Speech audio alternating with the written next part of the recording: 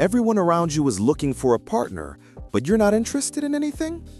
They call you cold, but what if that's not the problem? Psychologists talk about a self-sufficient type of person. Their brain sees relationships not as joy, but as an expenditure of energy and time. This isn't selfishness, it's efficiency. There are three types of such people. The self-sufficient architect, they have enough of their own interests and goals.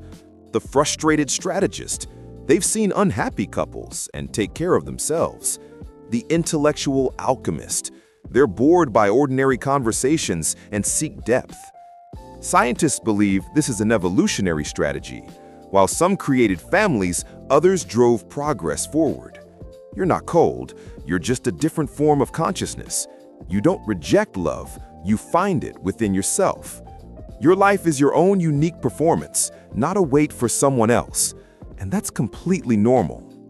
Let me know in the comments if you recognize yourself. Subscribe to the channel. Here we understand, not judge.